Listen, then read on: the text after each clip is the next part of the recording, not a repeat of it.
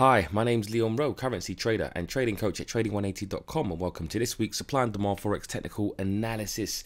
If you're new, welcome, and if you are returning, welcome back. Um, I really hope that you do find uh, my analysis on supply and demand zones useful and uh, application in your own trading. And uh, um, yeah, if you want to find out more, there are some links in the description box below. Also, for those uh, regular guys that are, you know, um, watch my weekly updates every Sunday. Um, unfortunately, I'm not going to be around next Sunday.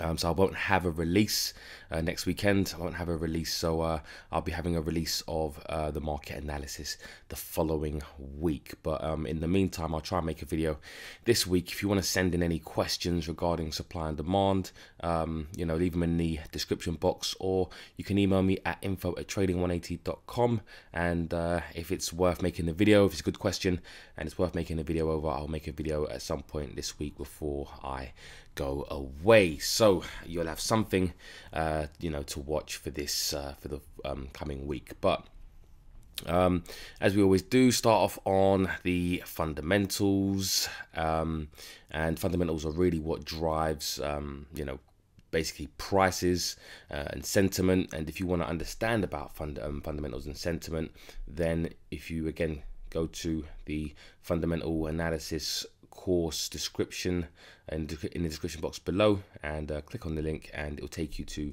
exactly how I analyze uh, fundamental and risk sentiment. You also have a fundamental analysis spreadsheet which will give you um, my opinion on what I think um, the uh, which way I'm pretty much trading when it comes to a currency and then I can basically look to um, do my pair selection. So if I'm bullish on the dollar and I'm bearish on the yen, dollar yen is what I'm going to be, you know, looking at demand zones and so on and so forth. So, um, yeah, check it out if you haven't already, and if you have, you know, fundamentals are something that you should really, you know, keep on top of and uh, and study. Um, it takes a while to, you know, um, implement into your trading, but keep doing it. Practice is the mother of all learning, as they say. Repetition and uh, yeah um, just let me know any feedback you have as well regarding the course so um, getting back to trading economics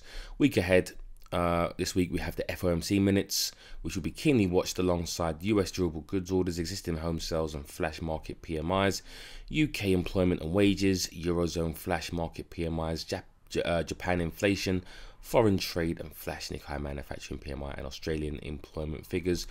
Investors will also react to US China trade talks. So those are you know the uh, the highlights uh, for this week and definitely something to look out for when you are making your trading decisions right before you press buy or press sell look at what's coming up in the week what it was potentially going to um, you know move prices you know high volatility um, you know news releases and uh, you know uh, pretty much um, make your trading decisions based on that. So, um, getting into the technicals, we start off on the Dow Jones Dollar Index, and the Dow Jones Dollar Index is a measure of the dollar's strength against four major currencies or three other major currencies, which is the euro, the pound, and the yen. So we just use this, keep an eye on this to look for dollar strength, and then go to the dollar crosses to look for buy buying or trading, um, or so buying or selling opportunities, right? So from last week, um, last week's analysis, we had just broken through this uh, supply zone, but I did keep it here, um, just in case it did, uh, you know, decide to fall back. Um, as you guys know, I'm I'm bullish dollar anyway, um, and I have been for um, a number of years, and uh, yeah. So let's uh, get into what happened last week. So pretty much we end up coming up to this, um, you know, supply zone area right here. Um, as we, uh, you know, continued with uh, dollar strength and we're getting a bit of a pullback. Is that profit taking? Is that a reversal? Um, we have no idea at the moment. So um, we're just looking at uh, right now from a technical perspective, it has come off this uh, supply zone right here and we could be heading you know down into this uh, nearer demand zone which I'm going to be drawing on a uh, on a live chart so if we go to the charts, this is what we saw. And then what we're looking to do is now add demand right right here and uh, so if we are looking at you know a bit of a pullback within this area again we're just looking at price to come into a demand zone on the dollar index and then if it comes into uh, a demand zone let's say on a dollar yen um, you know dollar swiss dollar cad etc and we see prices start to move higher then um, we should see overall dollar strength and then we're trying to pick the weakest currency in order to uh, trade against the uh, what I would consider the strongest potential currency. If not, then we're looking at buying here down here at the moment as there are no other demand zones that have been created. If you are looking to take advantage of potential some short-term uh, um, dollar weakness depending especially what happens with FOMC the FOMC statement um, this week if it is uh, maybe uh, a bit dovish um, then we could see obviously prices start to you know fall away. And uh, even depending on how dovish it is um, prices tend to you know maybe fall through this um, demand zone right? So uh, we've got a few options right now. Again look for maybe some short trades if you are looking to get short on the dollar. Again on the uh, dollar yen dollar cad you know etc if not um, then this area here is going to be the next area to look for some short trades right? If prices do come up here then look for you know short trades on the dollar crosses. So bearing that in mind let's move on now to the dollar yen and again from last week um, we did have some dollar strength right so that reflected obviously on the other dollar pairs apart from the New Zealand dollar New Zealand was quite strong this week, but we'll get to that in a sec. But dollar yen, um, we was pretty much you know risk on, uh, a risk on environment. Uh, stock market was rallying as well this week, pretty much, um, and uh, yeah, we pretty much didn't hold at this supply zone. So um, what we want to do is go to dollar yen and update the chart. So we can delete that right there and then we can add a demand zone right here and then um, where we at now pretty much we're just looking for again making your decision based off of you know dollar strength or dollar weakness. Do you want to you know take advantage of potential dollar profit taking? And if you are then profit taking isn't necessarily the best um, uh, uh, decision you know because we don't know how much you know supply is going to be in that area. With supply and demand what we're looking for is understanding value. Why should you be buying the, the, the, japanese yen? Why is the japanese yen a bargain at this price right? Or why is the dollar a bargain any of these demand zones right? And we determine that again through fundamental and sentiment analysis. But if you are just looking at purely the technicals and you are looking at a potential reversal then you know this is your chance to potentially get short. If you're looking to get long then it's going to be that's going to be your first area to try and get long. Second area. Um, we also have a bit of a an intraday um, support and resistance probably within this area here it's not the clearest on the maybe on the on the daily time frame chart if we zoom down into the four hour might be a bit clearer yeah so you've got you know a bit of resistance, resistance, resistance, bit of support, resistance within this area. This 109, uh, 8 to 109.6 area. So if prices do come down to this area here on an intraday time frame, and then you get some bullish price action. Um, and again, look at the uh, dollar index uh, for confluence, for overall dollar strength. You may want to again start getting look to get potentially long here and again, if that doesn't work out, then you just look for the same from um, this perspective here, from that demand zone. Again, from a selling perspective, um, if this doesn't work out here, then at the moment, your next supply zone on the daily time frame chart is going to be all the way up at this 113 uh, 40 level. So um, those are pretty much the options for now. And in fact, I will uh, there's a bit of a level I would say right here as well. Of a smaller level, but you've got some resistance and some support within that area of demand. And what basically support and resistance is, is just past supply and demand zones that have been projected into the future. And we use um, support and resistance just as confluence within um, areas of demand because we know that other traders trade, you know, uh, support and resistance, and we're trading in an area of supply and demand. And demand is really an area of potential value and other traders who trade technical patterns will be also be looking at that area to add to their positions or enter new positions. So we've got net net some um, more demand orders than supply orders potentially within this area from a value perspective and from a technical perspective. Um, and there are also some other um, confluences that I use like diagonal um, uh, support and resistance as well as dynamic support and resistance. And again there's some links in the description box below um, that shows you that and that's to do with the supply and demand order equation right? That's that video there. But moving on to the dollar Swiss. And again last week this is the analysis um, that I put forth and uh, we were either waiting for prices to you know come down to this area before of demand before looking to buy or potentially up into this area of supply um, to sell. We were in a bit of no man's land. And again, we can see what happens. So right now, we've come up into this area of supply and we're putting in, um, you know, a bit of a bearish candle. Again, we don't know whether this is profit taking or if this is an actual reversal. At the moment, um, probably the catalyst is going to be, you know, FOMC. Um, so uh, you know, just be uh, be aware of the upcoming news. So let's go to the dollar Swiss franc. Um, I think I updated this before. Yeah, so um, pretty much this is had created a demand zone. So we got higher highs, higher lows, and we know that higher highs and higher lows are uh, potentially the strongest areas of supply and demand. So we've got a bit of a demand zone here. So what we're looking at is if we're looking to take advantage of you know dollar buying, and again if you're looking at the immediate trend from you know this low, higher highs, higher lows, and you're a trend trader, then this is going to be the first area to look for any long trades. The next area is going to be down here. If you're looking to get short, probably now is or around now is going to be the time to look for any short trades again on a lower time frame you might see some sort of double top triple top right um, within that area.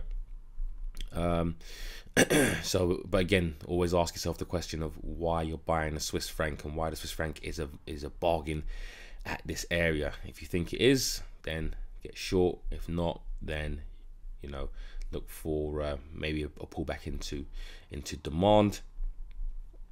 Um, moving on to the dollar CAD the dollar CAD this week, um, we were basically discussing that uh, prices would probably come up into this supply zone or nearabouts and then look for potential short trade. Um, and if not, then you'll be looking for prices to come down into this demand zone and look for a long trade. And as you know, we see prices barely touched. I don't think it did as it goes, but um, yeah, it didn't touch it. So uh, nearly nearly touched it but then we've uh, had a bit of a sell-off. So um, if we're looking at what happened this week pretty much prices went sideways. Now going to the chart dollar CAD um, again what we're looking at is you know prices to either come up to this supply zone before looking to get short or looking for prices to come down into this area of demand before looking to get long. And again, when you're trading the Canadian dollar, keep your eye on um, on oil, WTI, um, as uh, WTI is uh, can, uh, Canada's main export, and the the value of the can, um, Canadian dollar tends to be correlate. Co uh, correlated, correlated, correlated to the uh, uh, to the to, to oil and the price of oil. So at the moment, no real, you know, definite uh, buy or sell trades at the moment. Wave prices have really come up into this area here or thereabouts, um, or pretty much down into um, this demand zone, depending on what uh, pair you want to be buying or selling. Uh, moving on to the New Zealand dollar, US dollar, and last week um, prices did come down into this demand zone where we also had a level of resistance, support, support, resistance. Um, decent setup to the long side if you were looking to buy the New Zealand dollar, and the New Zealand dollar this week has uh, has gained a lot of strength, and on the expectation that there wouldn't be a rate cut because uh, there was apparently talks of a rate cut. Um, inflation is coming at um, a decent level, and so uh, I think rate cuts are off the table at the moment for the New Zealand dollar, and uh, New Zealand dollar has really rallied in strength. I think it's been probably the strongest currency um, this week, right? Um, and you can see pretty much you know strength um, with the New Zealand dollar now. Go to the charts. We are up, coming up into um, an interesting area right here. So, uh, if you believe again that this is definitely value for the US dollar, then you want to buy the US dollar, then this area here is going to be um, the area anywhere around here, the highs within this supply zone and this, you know, further or higher level of supply um, is looking for you'll be looking for sell trades. If you're looking for um, a buy trade at the moment then you'll be waiting really for a pullback into this level or if prices make um, new highs right? So higher lows and high highs all right so what you're looking for is something like this. If prices do come back make a negative candle and then make a positive candle then you want to be a buyer is wait for price to come back into this level of what would have been called demand or what I call demand and then you're looking for a buy trade right? So um, those are pretty much your options um, this week. Again I think the catalyst for really price movement is going to be for the for the dollar at least is going to be FOMC let me just uh, get rid of some of these arrows now moving on to the pound dollar. The pound dollar this week, um, we ended up going a bit lower, right? Um, with Brexit going on, and uh, um, you know the the uncertainty, and the closer we get to Brexit, and potentially having a no deal uh, Brexit, and uh, the uncertainty in Parliament and the confusion. Um, you know, I really don't expect the pound to really kind of rally. Again, anything can change at any time. There could be a deal brokered, you know, tomorrow, whatever, um, and the, the, market could rally. So, um, but for now, while there's a lot of uncertainty, you can see where prices have pretty much drifted down. Is this a reversal? Um, who knows? But in my opinion, it's probably just uh, again some profit taking at this area, but we won't know until obviously um, the week you know comes. If you do want to be a buyer of the pound, now is pretty much your opportunity. Decent engulfing candle if you're trading engulfing candles on the daily time frame chart. Um, so let's go to the actual charts itself. And let's update anything. So um, yeah, what you're looking for is probably maybe now a um, you know some sort of buy trade if you are looking to buy into some potential dollar weakness or pound strength. If you're looking at being a seller, then here's where we got some supply zones. We've got one right here as well. So we've got this area here of supply right on top of this area of demand. Not necessarily pretty, but as per the rules, this is how we actually, you know, will draw the uh, supply zones. The reason why is because we have lower highs and lower lows, right? And those of you that are t- taking the course, this is exactly, you know, why we draw the zones where we do, right? Lower highs, lower lows. So on an intraday time frame chart, we're looking at, you know, any kind of short trades within this area here. Let me just get rid of some of these arrows. So what we'd be looking at is potentially, you know, a reversal anywhere around here, right, or a fresher level would be up there on an intraday time frame and if you again went down into the one hour this is what it would look like etc right so um, four hour. And then obviously the daily. So we've got some supply. Just remember though where you are looking to uh, to buy if you are looking to buy the dollar right the US dollar is if we take the, the high to the low and we're looking at a retracement right if this is a potential range from that high to that low and you're waiting for a pullback the golden line would represent fair value. You're buying you know more below fair value which is more of the expensive area. If you're buying you know buying a, a potential expensive area this is going to be a bargain area at the highs so you're in an expensive area overall from this high to this low. So just you know keep in mind be aware where you are buying potentially. If you are buying a US dollar. If you're buying a British pound, obviously, then you'd be looking at this low to this high. This being an absolute bargain for the pound, this being an expensive area for the pound, this being a pullback, pullback into fair value, right? And then you can start to see where prices potentially um, could go, you know, to the upside, right? So this is fair value at this exchange rate you're looking at, you know, potential moves to the upside if you're buying the pound, right, against the uh, against the dollar. And let me just uh, again get rid of some of these and that. And this all right so again just be aware of where you're buying. You don't really you know you don't ever be buying at you know at highs or or selling at lows. So just keep in mind where you are buying and where value actually is right on on a price chart. Um so moving on to the euro dollar and euro dollar. Um last week we did you know prices did were coming down into this area. So we had one two three four five days you know of uh, of of selling of supply um, of sell pressure if you want to call it that. Um, and then this week we've had prices you know pretty much come down into this area again um, if you were looking to buy the question I always ask is why are you buying a euro down here? If you're buying it based off of just a technical pattern um, which a lot of people would have been buying this off of a technical pattern support support support but every other youtuber um, who does you know support and resistance would have been probably indicating this is an excellent place to buy.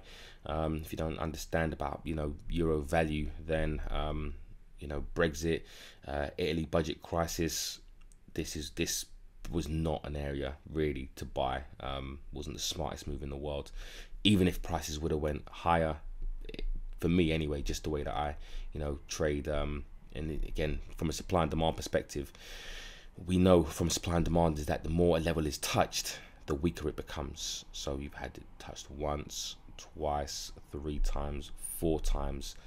Um, you know, this wasn't again fantastic from a from a um, uh, an odds perspective. You know, traders who would have put their stop losses below that area there definitely would have been stopped out. Um, and that's not to say that prices can't go higher, but we're trying to make the uh, the smartest, you know, the smartest plays. Just because you see an area of support and resistance, or even demand, you've got to look beyond a technical price chart and understand why this is potential a potential bargain for you know at this exchange rate. Why are you buying the euro, yeah, over the dollar? And uh, for me personally, I'd rather buy the dollar over the euro. Um, so I'm waiting for pretty much a pullback. Let's go to the charts. Waiting for a pullback of some point at some point. Don't know how I'm going to get re-enter this trade as I did exit probably around this area here from an entry up here. Um, I was expecting some sort of profit taking or reversal um, to happen, but if we get maybe something like this where we make a bit higher highs and then we make a move lower what we're doing is we're, then we're going to wait for this area to look to get short or what we'll have to wait for is potentially something like this where you see um, you see prices start to make new lows and then prices pull back into you know this area here of what would be what would be known as supply right here. So we've got pretty much two scenarios at the moment. Prices are you know chopping around. And again this is just my uh, my opinion not financial advice. Um, if you do want to buy uh, the euro then uh, definitely this would be you know the area to look to get long you've got a bit of a you know what we'd call a, a I guess a doji type candle I think a lot of traders will probably look to potentially get in. And again, if you look at if you're you know we're looking at FOMC coming out, and again if there is a, a dovish statement by the FOMC by the Federal Reserve, then that could be the catalyst that does push prices, you know, a bit higher. But does that necessarily mean you want to get um, you know long on this currency pair? Again, that's a question for you to answer. Um, so if I if we're looking to you know be buyers of the euro, now is definitely the time. Um, you may want to you know um, uh, maybe enter on a daily or a lower time frame chart um, and see what you can see down there. So um, those are your options, and again, just here's your going to be your nearest supply zone at the moment. Euro yen. Euro yen at the moment is it's come down to this demand zone here and then we have you know pretty much entering into just a, a sideways you know movement between this supply zone this demand zone here. So demand there bit of supply there. Let's go then to the charts. Right I think that probably the yen will um with a risk off environment leading up to uh, Brexit and also European elections, I think, are coming up. Um, again, um, a lot of uh, uncertainty in Europe at the moment. I think the yen should strengthen over the euro. Um, again, that, but that would would probably be uh, more of a factor of a risk-off environment if uh, you know money starts uh, flowing into you know other things like gold and government uh, treasury bonds, um, UST bonds as well. If that starts to you know go higher, stock market starts to go lower, um, then look for probably some sort of uh, sell trade, you know, at levels of supply. Um, but again, if all is is well, then the euro not faring much better, to be fair, than the Japanese yen. Um, you know, is uh, probably the buy trade, but you can really see it in price. You can see that you know investors and traders, you know, they, they have no idea, um, you know, what, you know, the, the exchange rate as far as they're in agreement that, you know, prices between this 12594 and maybe this 123 level um, is where, you know, uh, prices um, should remain for now because the Japanese yen is, is quite weak from a fundamental perspective and the euro is quite weak from a fundamental perspective. So if you have two weak currencies, right, um, going against each other. This is what will tend to happen. The same way if you have two strong currencies competing against each other, this is what tends to happen. What currency has an edge over the other? The only edge I think the Japanese yen has over the euro is risk a risk off sentiment, a safe haven play. Um, but fundamentally, if we were risk if we were in a risk on environment, the euro should not much not by much, but should um, you know uh, basically uh, rise. So that all being said, where are we at now? Um, again, I would probably say just if prices come up to this supply zone, sell if you feel that you know the Japanese yen is really the the, the, the, the currency to buy, and the euro would be around this area here. Um, I'll probably wait for more of a clearer picture um, at the moment, as it's really not that clear. Um, regarding the uh, fundamentals and the risk sentiment. Moving on to the Aussie dollar. Aussie dollar, and we did come down last week into this uh, this demand zone here. I think we did pierce through a little bit, and then we ended up coming back up. Right here, there's a bit of positive sentiment around the Australian dollar. Um, so, looking at the actual chart, uh, I'm going to update this. What I'm going to do is I'm going to put this demand zone around here. slightly here. We've made a bit of higher highs, higher lows there. So you can see if I zoom in a bit. Higher highs, higher lows right there. So um, you can also, you know, basically drag it right there as well. now, um, if we are looking at being a buyer, then probably look for price to come really down into this lower end of this uh, demand zone. I'm going to get rid of this area here. Again, this is what it would look like on a lower time frame, let's say the four hour. All right, so what you're looking for is probably pull back into you know this this lower area here before looking to get long if you're looking to buy the Australian dollar. and if you are looking to get short, then this is going to be an area here now. I do like this this area, um, this supply area for various reasons, and uh, again, for those who have taken the course, you'll understand that this is um, a CPR, a capture pain relief zone, right? Um, in conjunction with supply, and uh, I'll be making a video for you guys um, about this, you know, this trade setup in a lot more detail in the members area. Um, but for the guys watching this on YouTube, this is going to be the first area to look for. Um, you know, your sell trade if you're looking to buy the um, the US dollar. Um, so anywhere around here, and then if that doesn't work out, then you know basically this is going to be the area to look to get short.